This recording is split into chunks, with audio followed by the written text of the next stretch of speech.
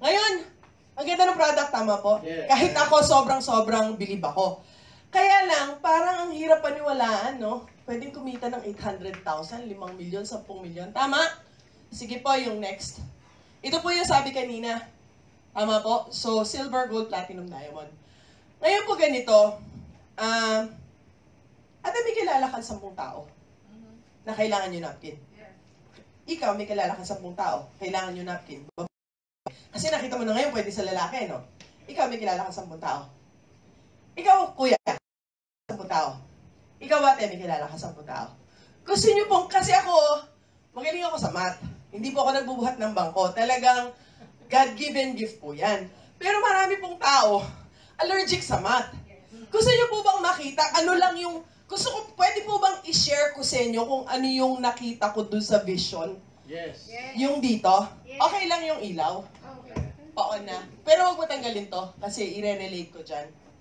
Halimbawa po ikaw to. Huwag na natin sabihin milyon-milyon. May kilala ka ba sampung tao na kailangan ng produkto? May kilala ka sampung tao na kailangan ng pera?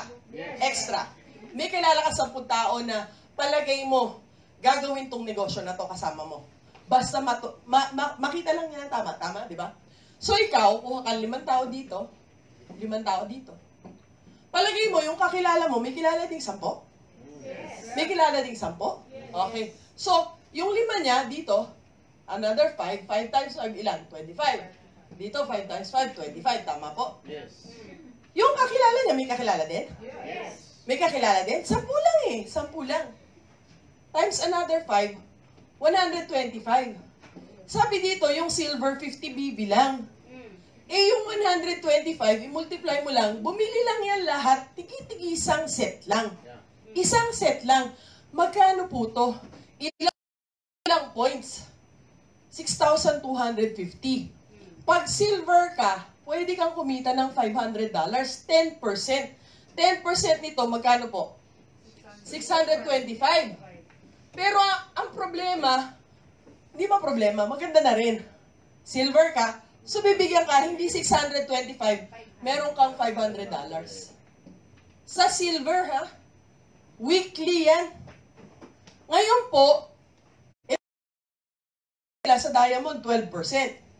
Sa parehong trabaho, ag- again ha, sa parehong trabaho, 10, 10, 10, pero diamond ka, hindi 500 ang makukuha mo, hindi 625. Alam mo kung magkano? Magkano? 12% nito eh. $750 ang iyo. Malaki diferensya? Yes. Malaki. Eh ito po, yung isang bonus pa lang. Ito po nakita ko, bakit palagi mo, eh, dami mag-active, 125 dyan, 125. Pwede bang may isang daang kang leader, hindi galing sa'yo, pero down, down, down the line? Pwede, no? Okay. Sabihin mo may isang daang kang leader. Eh, sa team bonus, bibigyan ka ng 10% nung kita nila. So, sabihin natin, silver din sila. Huwag mo sabihin silver lang, ha? Kasi yung silver, malaking bagay. Silver, magkano 10% ng silver? $50. May isang daan tao ka.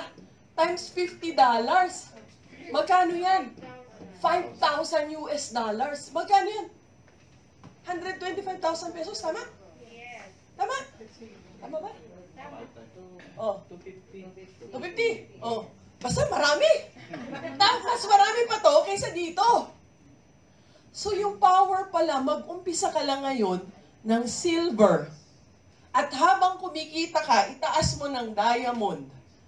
Depende sa'yo kung kailan mo kikita. Kasi hindi lang yung 5,000 plus 500. Ito po kita mo linggo-linggo, $5,500. Silver. Silver, ha? Silver. Pwede itong weekly, pwedeng monthly. Kung gaano katagal. Ano po mas mataas? Ito o yun? Siguro naman, di ko na kailangan maging sobrang talino para malaman kung mas malaki to. Tama po? Ang laki po nito. So, ano po ginawa ko? Pinagpalit ko yung wedding planner coordinator at yung kasosyalan para sa napkin. Tapos masarap. Ano, alam nyo anong mas exciting?